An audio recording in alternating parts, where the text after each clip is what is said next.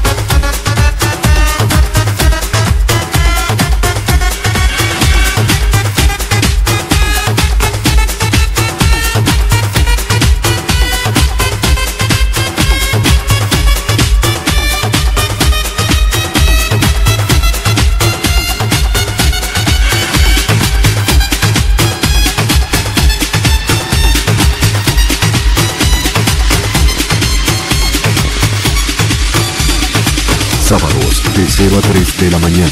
Pero en la 100.